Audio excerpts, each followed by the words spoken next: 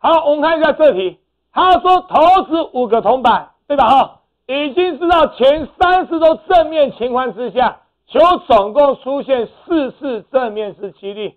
这里是条件几率的考法，在什么什么条件之下，我要什么什么东西，这样行不行？那一样，几率怎么算？全部分之我要的，值五个铜板，对吧？哈，前三次都是正面，好。前三次都是正面情况之下，前三次都是正面，那后面还有两次嘛？那后面两次是哪两次？你确定吗？不确定，所以后面两次可能是正正、正反、反正、反反，对吧？哈，所以在前三次是正面情况之下，后面可能是正正、正反、反正、反反，所以说全部有几种？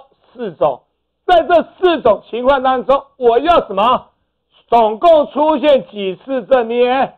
四次正面，有几种？有这两种，是出来了。所以答案就是题四分之二，你再去一掉二分之一，OK。